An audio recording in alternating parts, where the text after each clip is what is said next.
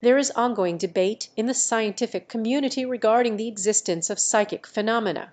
Some researchers believe that certain individuals may have abilities that cannot be explained by current scientific understanding. However, the existence of psychic phenomena has not been widely accepted or proven through rigorous scientific methods. Science relies on observable evidence and repeatable experiments, which can be challenging when it comes to studying psychic phenomena.